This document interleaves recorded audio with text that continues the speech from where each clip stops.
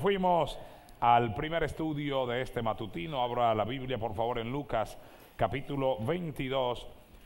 Estudiaremos hoy desde el versículo 14 hasta el 34. Le repito, Lucas capítulo 22, desde el 14 hasta el 34. Hermano Henry nos da lectura a la palabra de Dios. Cuando era la hora, se sentó a la mesa y con él los apóstoles y le dijo, cuánto he deseado comer con vosotros esta Pascua antes que padezca, porque os digo que no la comeré más hasta que se cumpla en el reino de Dios. Y habiendo tomado la copa, dio gracias y dijo, tomad esto y repartidlo entre vosotros, porque os digo que no beberé más del fruto de la vid hasta que el reino de Dios venga. Y tomó el pan y dio gracias y lo partió y les dio diciendo, este es mi cuerpo, que por vosotros es dado. Haced esto en memoria de mí. De igual manera, después que hubo cenado, tomó la copa diciendo, esta copa es el nuevo pacto en mi sangre, que por vosotros se derrama. Mas he aquí, la mano del que me entrega está conmigo en la mesa. A la verdad, el Hijo del Hombre va, según lo que está determinado. Pero hay de aquel hombre por quien es entregado. Entonces ellos comenzaron a discutir entre sí, ¿quién de ellos sería el que había de hacer esto? Oremos. Padre nuestro que estás en los cielos, santificado sea tu nombre. Gracias por este gran honor que nos concede el enseñar tu palabra por esta televisora, por las diferentes radios, por los diferentes directores que colocan sus emisoras para que estos matutinos llegue al lugar necesitado, a la gente que, lo, que quiere oír palabra de Dios. Usa a mi pastor en una forma poderosa para explicar uno de las cosa más emblemática como es la Santa Cena, uno de los puntos que tú ordenaste para nosotros los creyentes. Te lo ruego Dios eterno, en el nombre de Jesús, mi Señor y Salvador, y todos nosotros, tu pueblo, decimos, amén. Dice la escritura, amados hermanos, en el versículo 14, diga conmigo, cuando llegó la hora. Cuando llegó la hora cuando llegó la hora de qué? La hora de cenar, la hora de comer, la hora en que la familia se recoge. A lo mejor al mediodía el marido está en el trabajo, la mujercita está en la casa, los muchachitos en la universidad, en el liceo, en la escuela, pero en la hora de cenar estamos todos recogidos Estamos como los pajaritos dentro del nido. Aleluya. Aquí dice que cuando llegó la hora, ¿qué pasó cuando llegó la hora, mi Juan? Se sentó a la mesa y con él los apóstoles. Hay gente apático, hay gente, amados hermanos, antisociales que llega la hora de cenar, la hora de comer. No, no, no, no quieren comer con nadie. Agarran el plato y se lo llevan para atrás de la casa para sentarse en el suelo o a comer parado detrás de la casa porque son antisociales. Que el Señor reprenda al diablo. Amén. La Biblia dice, y es hablando Jesucristo, ejemplo en todo os he dado para que como yo he hecho, vosotros, también, hagáis. ¿Cómo hizo Jesucristo? Bueno, Jesucristo cuando llegó la hora se sentó con sus doce discípulos a la mesa para participar de la cena. Ese es el versículo 14, pero miren cómo dice el versículo 15, diga conmigo, y les dijo, y les dijo, ajá, ¿qué fue lo que les dijo el Señor a sus doce discípulos? ¿Qué les dijo él? Cuánto he deseado comer con vosotros esta Pascua antes que padezca. Ay, qué bonita es la comunión fraternal. No solamente llegar a la mesa y meter la cabeza dentro del plato como el cochino en la batea. No, no, no, por el amor de Dios. Vamos a darle gracias al Padre por estos alimentos. Vamos a tomar en cuenta la palabra del Señor. A mí me encanta, mis amados hermanos, la hora de, de comer, la hora de almuerzo. Mi olfa se sienta así, yo me siento aquí y le digo, mi olfa, yo voy a bendecir los alimentos.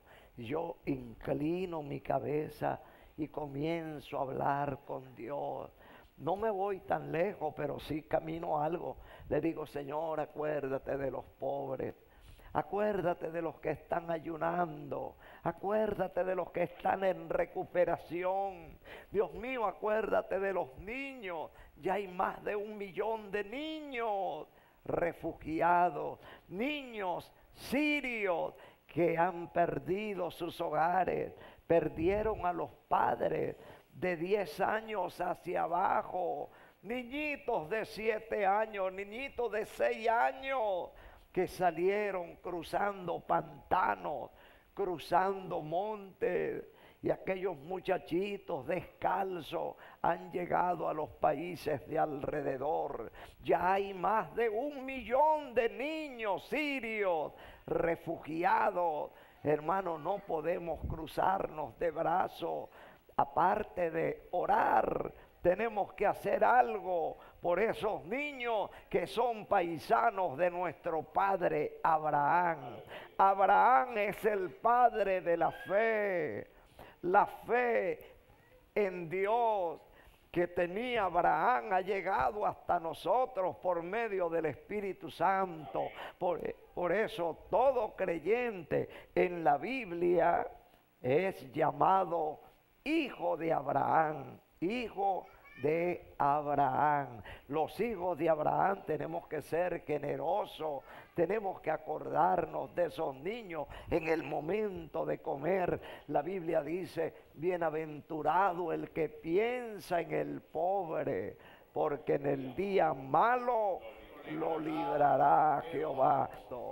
En el Salmo 41.1 dice, bienaventurado el que piensa en el pobre porque en el día malo lo librará Jehová. Vamos a emprender, amados hermanos, el envío de mucha ayuda, de mucho socorro. Comenzaremos por los aviones grandes, esos tremendos aviones Hércules, C-130 de las Fuerzas Aéreas Venezolanas.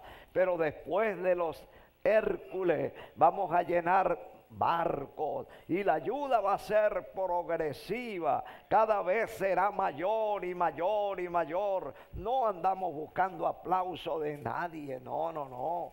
Nosotros solamente queremos hacer el bien, imitando a nuestro Señor Jesucristo. Él dijo que, diga conmigo, es mejor dar que recibir. Es mejor dar, que, recibir. ¿Estás de acuerdo, cielito? Amén,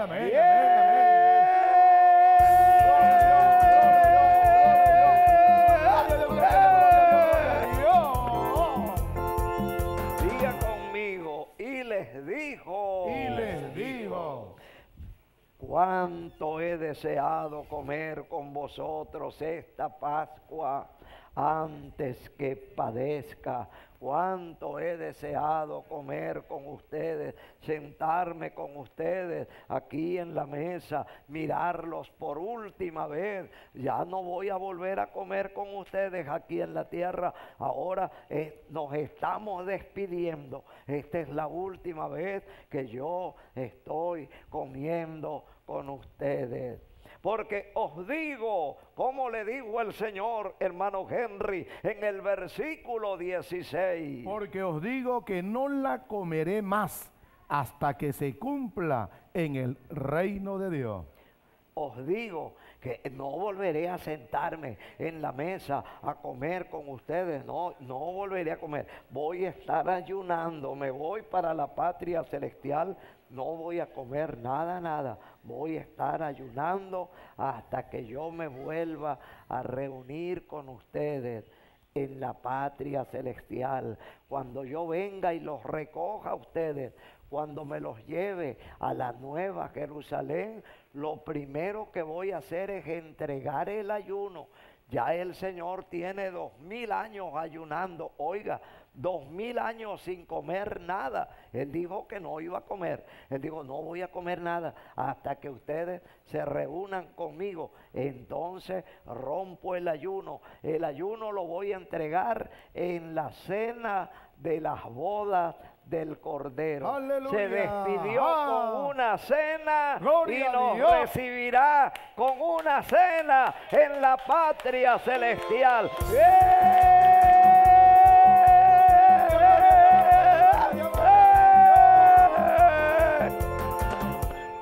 Lo mejor es reunirnos como familia para cenar. Se despidió cenando y nos recibirá cenando también.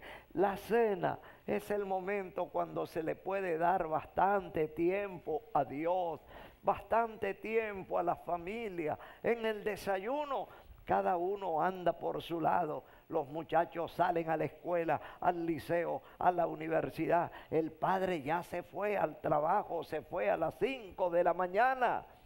Al mediodía no están pero en la cena, ahí estamos toditos, amontonaditos alrededor de la mesa.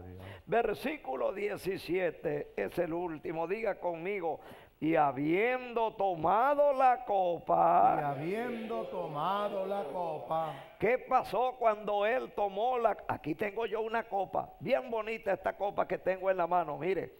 Y habiendo tomado la copa, dio gracias.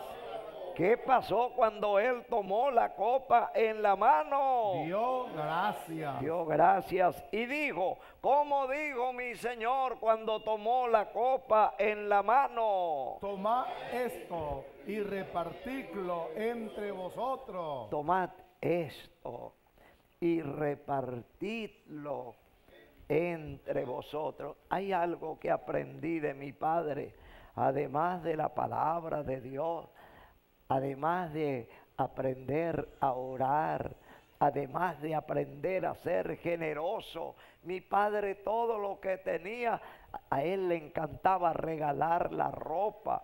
Cuando él se sentaba a comer, y llegaba alguien, inmediatamente agarraba un bocado grande y se lo ponía, prueba lo que estoy comiendo, siéntate conmigo aquí. A mi padre le encantaba repartir la comida y eso es lo que yo hago.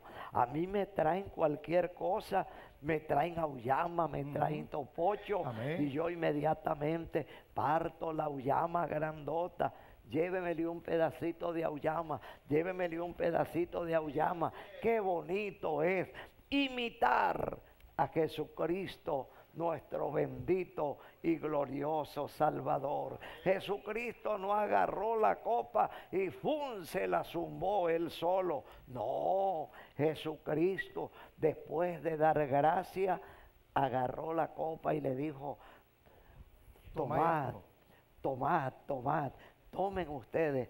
Les dio la copa a ellos de primero. No se sumó la mitad y después le dejó un poquitico a ellos. No, habiendo tomado la copa, digo, dio gracias y dijo, tomad esto y repartidlo entre vosotros. Ay, hermano, qué lección tan grande de amor, de generosidad, que aprendamos nosotros a no ser egoístas, si usted tiene ropa en el escaparate que usted no la está usando, mire, ¿qué va a esperar?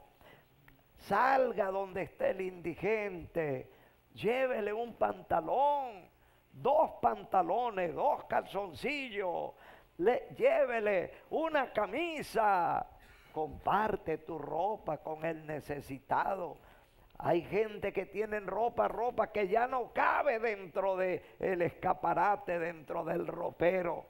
Pero son incapaces de darle una camisa al hermanito que anda con un tremendo violín por aquí, porque no tiene con qué cambiarse.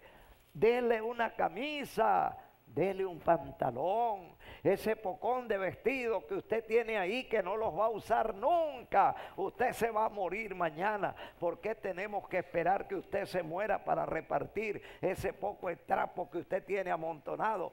Abra las gavetas, abra el corazón, abra la mente, sea generoso. Jesucristo agarró la copa y no se la bebió, sino que después de dar gracias les dijo, repartidlo entre vosotros. Ay, qué grande el corazón de Jesucristo. Ayúdanos, Padre, para no ser egoísta. Perdónanos, Señor, por ser mezquino. Ayúdanos, Dios mío, a ser generoso, a compartir el pan con el hambriento, a compartir con el vecino, el vecino que no está trabajando. Llévale una mano de topocho. Te trajeron un racimo de topocho. Llévale una mano de topocho.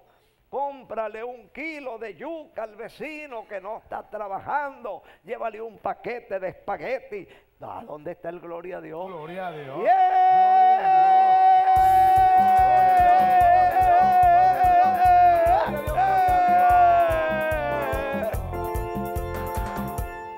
eso son los matutinos, la palabra de Dios activa para con cada uno de nosotros.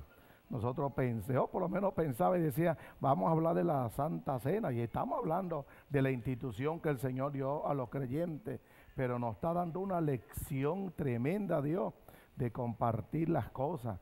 La gloria pertenece al Señor. Y con la ternura, pues que lo hace mi pastor, a veces yo soy fuerte así para hablar y no tengo esa ternura. Que el Señor nos ayude a nosotros a ser tierno, a ser tierno para pedir la comida y decir, dame un poquito y no decir, dame acá el pedazo de pan. No, no, y no comernos la comida nosotros. Ay Dios, uno agarre y, y no se que el Señor nos ayude. Bueno, pues, gracias por esos consejos y que Dios me le dé mucha, pero mucha larga vida y me le gane a Matusalén y le pase por un lado. Amén. En una moto, dijo. En una moto. No, no. Versículo 18 dice, porque os digo que no beberé más del fruto de la vid hasta que el reino de Dios venga hasta que el reino de Dios venga. Jesús está enseñándole a los discípulos una reunión familiar, algo íntimo. Estaban los doce discípulos allí, estaban la fiesta de la Pascua, una fiesta que estaba establecida por la ley del Señor, recordando aquel momento cuando el pueblo de Israel salió camino al desierto, liberado del yugo de, por 430 años allá en Egipto, y el Señor había dado una orden para que cada familia que tuviese fe eh, sacrificase un cordero, lo colocara allí en los dinteles de la puerta, que el ángel de Jehová iba a pasar a matar los primogénitos, de tal manera que el ángel iba a pasar de largo. Y allí estaban celebrando, recordando aquella, aquel sacrificio de tantos becerros. Y el Señor les dice, ahora está Cristo en nuestra Pascua. Nosotros que leemos la Biblia sabemos que Cristo en nuestra Pascua nos deja una gran lección en este versículo, que sí hay un reino de Dios. Él lo dice, no beberé el fruto de la vid hasta que el reino de Dios venga. Viene el reino de Dios sobre la tierra. Mientras estamos en la tierra aprendemos todos los consejos para vivir, para compartir, para vivir en familia, pero sabemos que viene un reino y que es el reino de Dios. La Biblia lo dice, mil años, mil años vamos, vamos a, mandar con nuestro Señor y Salvador Jesucristo, el causante de tanto dolor y quebranto. Dice que un ángel descendió del cielo con la llave del, abismo con una cadena y ató al diablo, el profeta, por mil años y le puso un sello para que no engañara más a nadie en la tierra. Cristo vendrá y pondrá sus pies en el monte de los olivos. Durante mil años la tierra vivirá en perfecta La capital del mundo será Jerusalén. Así que anímese a conocer la Jerusalén de ahora, porque también vamos a conocer la generación, la Jerusalén del futuro, donde el Rey de Reyes y Señor de Jesucristo será el dueño. Si hay un reino de Dios, Cristo viene, los discípulos estaban disfrutando con el Señor de esa intimidad. Nosotros también, todos los creyentes, vamos a tomar una cena con el Señor en las bodas del Cordero para la honra y la gloria de su santo nombre. Dice el versículo 19, recuerden, estamos en Evangelio según San Lucas, en exactamente en el capítulo 22. Y dice, y tomó el pan y dio gracias. Y lo partió y les dio diciendo. Me gusta la palabra diciendo, siguiendo la línea de nuestro pastor, no se puede comer en la, mesa y que no se hablen. Uno allá en aquella esquina, o el hombre en la, esquina, la mujer en la otra esquina, mirándose de reojo, no hablan. Aquí dice que Jesús les habló, conversó con ellos, que esa tertulia de familia sea de paz. Y le dijo a los discípulos, este es mi cuerpo que por vosotros os he dado.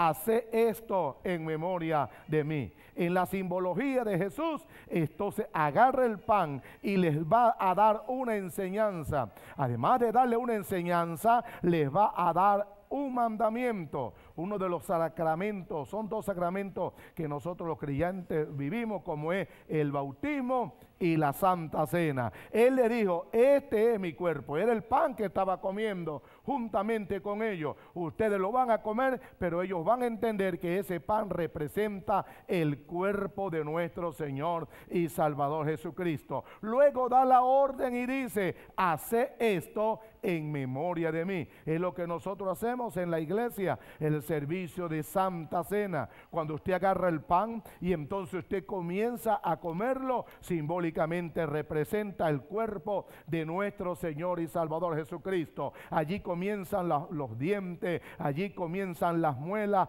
a triturar aquel pan, a disfigurar lo que usted se comió, que era una figura del cuerpo de Cristo. Isaías dijo, no hay parecer ni hermosura en él. Le veremos, pero para que le deseemos. El cuerpo de Cristo fue triturado, fue golpeado, no había parecer en él, no era la misma cara que subió a la cruz cuando fue entregado. Así nosotros con nuestros dientes, cuando mordemos el pan, estamos recordando la muerte del Señor y decimos, Señor, como mordemos este pan, tú fuiste molido por nuestros pecados, tú en la cruz del Calvario lo hiciste por amor, por amor se entregó el Salvador y hacemos esto en memoria de ti, para recordar tu muerte, pero no solamente tu muerte, sino recordar que tu venida viene y que vamos a comer un día el pan contigo en las bodas del Cordero. Hace esto en memoria de mí. Gloria a Dios, gloria a Dios, gloria a Dios, gloria a Dios, gloria a Dios, gloria a Dios. Y dice el versículo 20, y de igual manera, después que hubo cenado, tomó la copa diciendo.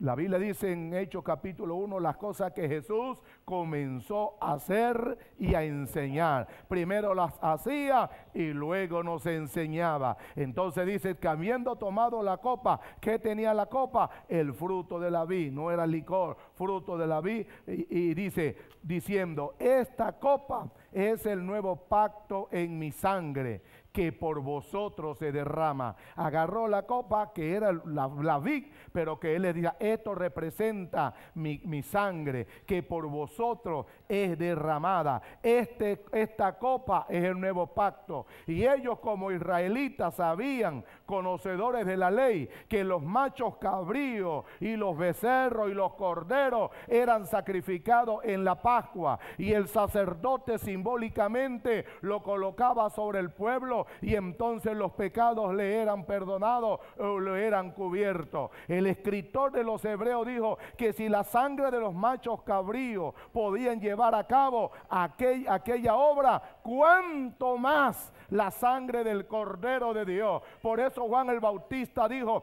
he allí el Cordero de Dios que quita los pecados del mundo. He allí el verdadero Cordero. Bendito sea el Señor.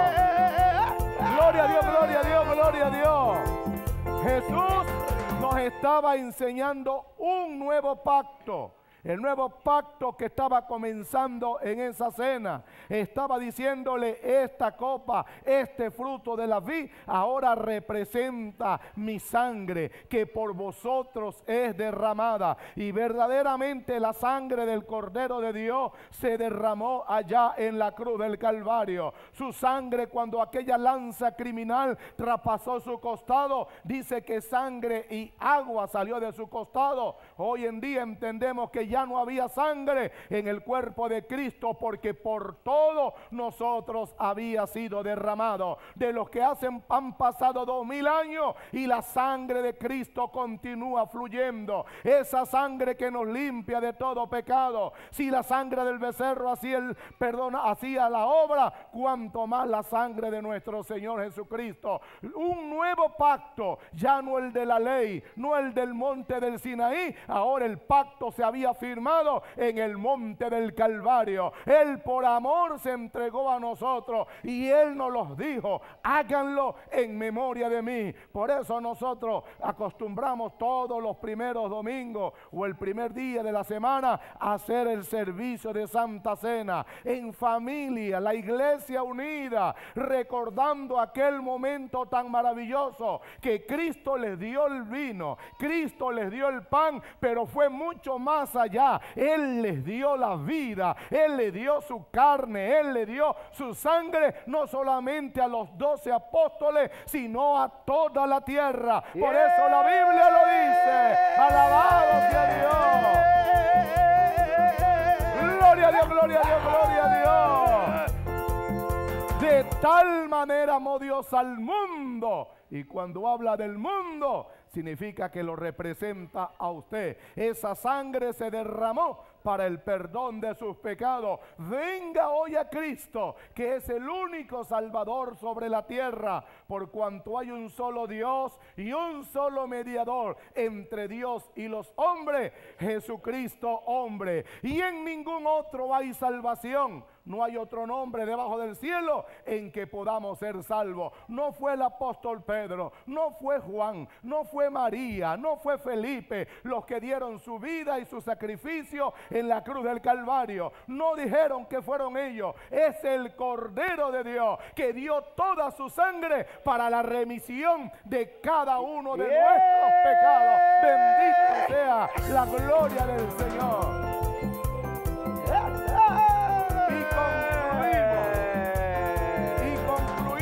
El versículo 21. Jesús continúa hablando en aquel lugar y dice, mas he aquí la mano del que me entrega está conmigo en la mesa. Mas he aquí, la mano del que me entrega está conmigo en la mesa. Uno de los discípulos, ya Jesús lo había dicho, uno de ustedes me va a entregar. Ese hombre puso una nota discordante en aquel servicio tan especial que tenían con el Señor. Usted no lo haga cuando está comiendo en familia. No se vaya a la esquina, comparta en familia la oración de gratitud porque el Cordero pagó un precio derramando su sangre por nosotros en la cruz del Calvario. Que Dios me le bendiga y que Dios me le guarde y nos vemos en las bodas del Cordero.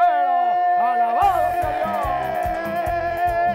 Gloria a Dios, gloria a Dios, gloria a Dios, gloria a Dios, gloria a Dios. Oh. si estás en paz con el jefe de trabajo, si estás en paz con tus empleados, si estás en paz con el pastor y el pastor está en paz con las ovejas, dígale Shalom. Shalom. Shalom significa Paz. que tengas paz, que la paz de Dios sea contigo. Día de paz. Si estás en paz con tu hermano, dile shalom. Ah, pero si tienes raíz de amargura, no le digas shalom, dile, perdóname Henry, estoy pensando mal de ti, per- perdóname. Cuidado, Perdóname, mi Juan, estoy pensando mal de ti. Perdóname, María, pensé que me habías pegado cacho. José por poquito y abandona a la pobre María, a la. Virgen María, por no tener comunión entre ellos. José pensaba que María le había pegado cacho. Y José agarró su martillo, su serrucho, los clavitos, la escuadra, el cepillo. Era lo único que tenían los carpinteros. Un martillo, unos clavitos, tenía la escuadra y, y- y qué más podía tener, no habían alicates. Hermano, agarró sus cuatro piezas, el bojotico de ropa y dijo, piedra para lijar. me voy a dar a la fuga porque esta, esta me pegó cacho. Yo la veo que está embarazada. Yo a ella no la he tocado. Yo me voy. Hermano, ¿qué falta hace la comunión entre el padre Y el hijo. y los hijos? Entre los hijos Y y, los sus padres. padres. Entre el esposo y la esposa. ¿Qué falta hace, mis amados hermanos? Una palabra no cuesta nada. Dele una palabra de aliento a su marido, a su mujer. No lo castigue, no la castigue. Pásele la mano por la cabeza, aunque sea, y dígale te amo, te quiero, eres muy especial, te amo para siempre. Me contó Rabito, Rabito, ese artista argentino que canta tan lindo la canción de sinceridad, sinceridad. Él me contó que ya su esposa tienen tantos años de casado y él me contó que ya su esposa tiene las manitos, se están empezando a arrugar. Entonces ella puso las manitos en la mesa y de repente se tapó las manitos así y él le agarró las manos entre sus manos, la miró a los ojos y le dijo, no importa que tus manitos se arruguen, tu corazón está lisito, tu corazón está limpio, tú eres especial para mí, no me importan tus manos, no me importan tus canas, no me importan tus arrugas. Y ahí fue donde el Señor le dio la canción de sinceridad Amén. Sinceridad, sinceridad. Hermano, que Dios nos bendiga. Amén. Esto es el Evangelio. El Evangelio es amor. El Evangelio es Sinceridad. comunión. Yo siempre soñé con, con predicarle a la gente, pero mirándolos a los ojos, corazón a corazón. Por eso hoy me siento muy feliz. El Espíritu de Dios está aquí visitándonos hoy. Aquí hay algo especial en este Amén. matutino. Amén, amén. Yeah.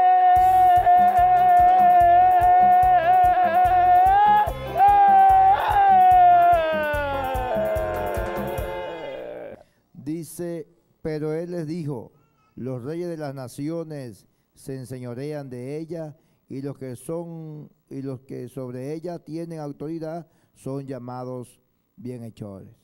Bien, seguimos acá, ahí de los que se preocupan entonces por alcanzar grandeza.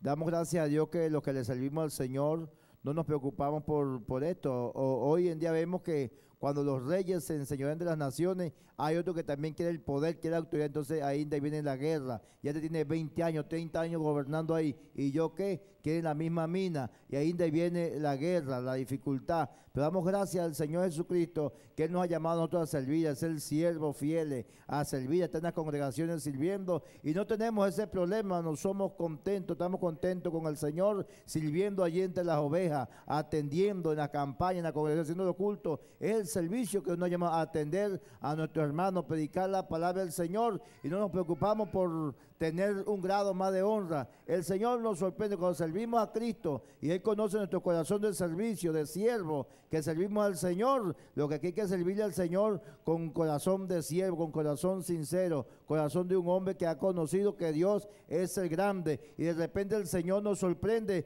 con subir un escalón más en el ministerio. Tú le estás sirviendo a Dios sin intención de ser jefe misión, de ser jefe zona, pero de repente el Señor te dice, te voy a honrar un poco más, te vamos a llevar a la zona, te vamos a llevar a la misión. Pues porque Dios conoce que hay corazón de siervo, que hay humildad, que hay sencillez y que conocemos que toda la gloria y la honra pertenece al Señor. No peleemos nosotros por tener este, posición en la obra o por ser pastores y hacer la guerra al pastor. ¿Y quién va a ser el otro jefe de misión? Dios sabe quién va a ser el otro jefe de misión. De repente es el que está por allá trabajando, picando caña ahorita y está en una congregación y Dios lo está mirando porque tiene corazón de siervo, tiene un corazón de una persona humilde que le va a dar resultado en la obra al Señor. Y Dios busca a los humildes. Dios se asocia con los humildes. Por eso dice, asociado con los humildes, asociado con el Padre, asociado con el Hijo y asociado con el Espíritu Santo.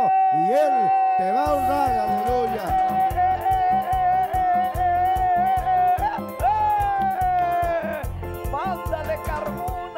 Gloria a Dios, si nos asociamos con Él, Él nos va a honrar. Entonces Él es el que engrandece, Él es el que te lleva en honra. El Señor, este, eso los mira de lejos, pero al humilde, al que quiere estar asociado con Jesucristo, el Señor lo va a honrar porque ve el Señor que va a dar resultados en la viña del Señor, va a cuidar los intereses del Señor. Por eso la mejor asociación, y una persona humilde, que no es una persona que está buscando ganancias deshonesta, ni anda buscando sacarle ventaja al otro, sino que todo lo va a hacer en armonía por igual, porque sabiendo que la honra y el poder y la salvación y la acción de gracia pertenece al Señor. Dios le bendiga y Dios le guarde.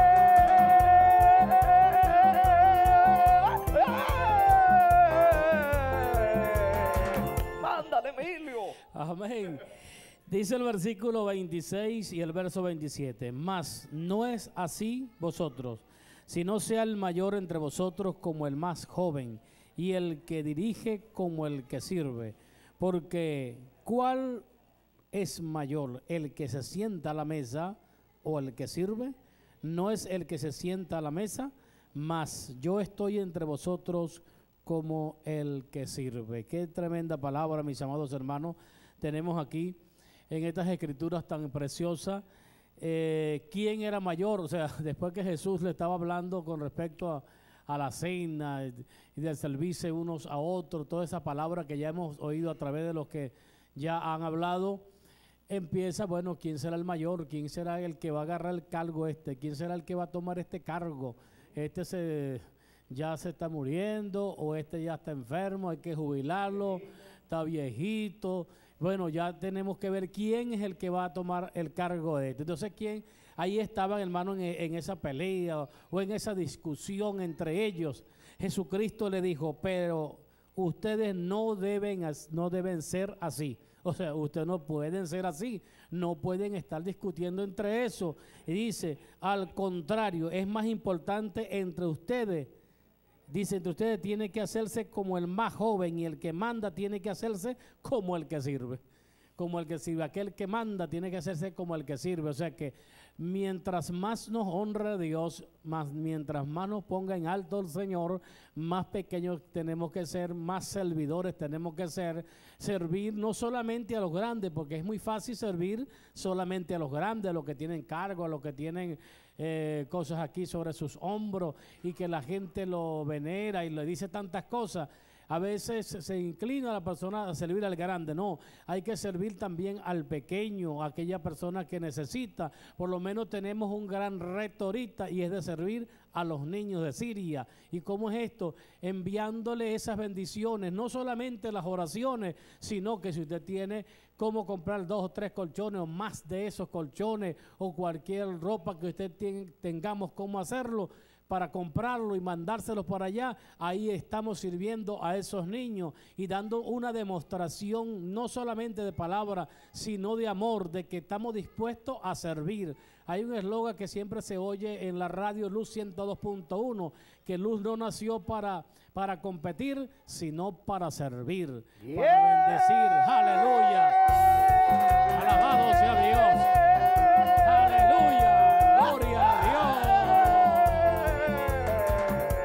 Dice el versículo 27, pues, ¿quién es más importante? ¿El que se sienta a la mesa a comer o el que sirve? ¿Acaso no e- lo es el que se sienta a la mesa? En cambio, dijo el Señor, yo estoy entre ustedes como el que sirve. el que se sienta a la mesa siempre es mayor, pero Dios a través de Jesucristo cambió todo. ¿Cómo esto? Yo estoy entre vosotros, digo Cristo, el, que sirve. Allá en el cielo, hermano, es una cosa tremenda. ¿Sabe quién mira más el Señor allá en el cielo? Lo mira el Señor aquel que continuamente está sirviendo, continuamente.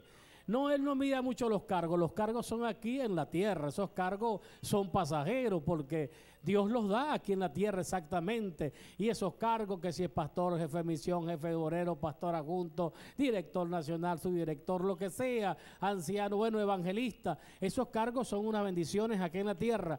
Pero Dios siempre mira a aquella persona que está sirviendo de corazón no es de palabra o para que lo vean, porque dice la Biblia, y todo lo que hagáis, sea de hecho de palabra, hacerlo en el nombre del Señor, no para los hombres, sino para Dios. Allá en el cielo, el más grande será el que sirve, aquel que no el que se sienta a la mesa, sino aquel que está sirviendo. Ayúdenos Dios, que a todos nosotros, todos nosotros sirvamos a todo aquel necesitado, a aquella persona que en, ver- en verdad necesite. Dios nos ha dado la capacidad a través de su Espíritu Santo para hacerlo. Si usted no ha, no ha comenzado, comencemos y comience y comencemos todos a servir a tu vecino, a la vecina, a la esposa, a los hijos y a todos. Y esto será de mucha bendición para tu vida, para mi vida y a todos los que nos está rodeando. Que Dios me le bendiga. Diga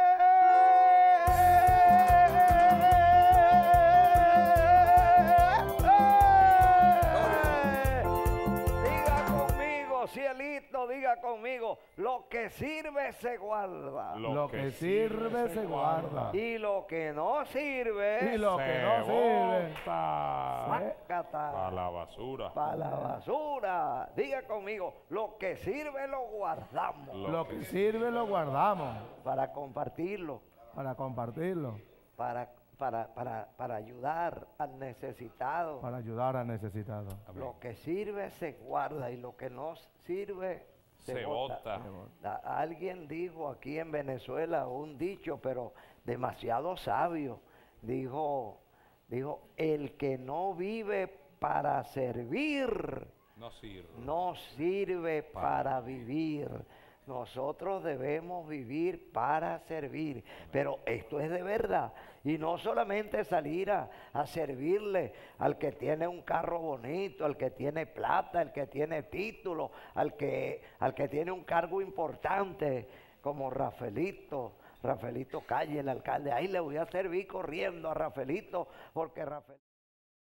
No, vamos a servirle a Rafaelito, sí, le vamos a servir, pero también le vamos a servir al indigente, al indigente, el que no tiene familia, el que está tirado en la calle, el que piensa que nadie lo ama. Demuéstrele que Dios lo ama, demuéstrele el amor de Dios a través de tu servicio, a través de la dádiva, a través de tu generosidad. Demuéstrale que Dios lo ama a Él. Comparte con Él un plato de comida. Es muy bonito compartir con el que no tiene. Si tú le das al que tiene, es como diciendo, metiendo cuña para sacar estilla. Yo te doy esto y tú me das aquello. No, no, no, no, no, no, no. Eso no funciona. Vamos a darle al que no tiene nada, al que no tiene nada. Al que no tiene nada, vamos a compartir con él. Vamos a compartir con él. Que Dios me lo bendiga. Comparta. Esos calzoncillos que ya usted no lo está usando, no los bote. Déselos al indigente que todavía se le puede sacar provecho. No lo bote. No lo bote, no lo tire a la basura. De repente va a servir para ese pobre hombre que a lo mejor tiene un año sin bañarse y que a lo mejor va al río y se baña, ya no tiene calzoncillos, se le rompieron. Vamos a compartir.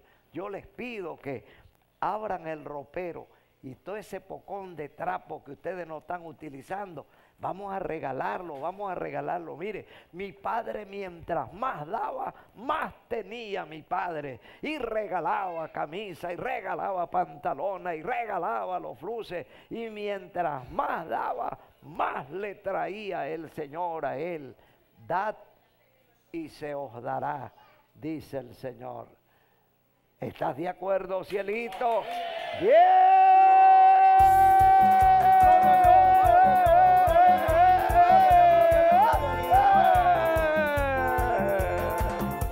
Versículo 28 dice así, pero vosotros sois lo que habéis permanecido conmigo en mis pruebas.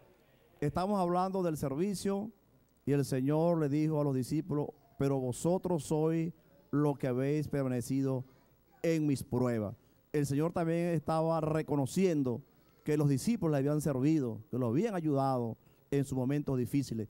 El versículo comienza con una, una preposición condicional, excluyente o incluyente, depende de cómo usted esté viviendo el Evangelio. Es excluyente cuando usted no está haciendo nada por servir. Dice, pero, ah, está por fuera. Pero también dice, pero está adentro. Pero ustedes han permanecido conmigo en mis pruebas.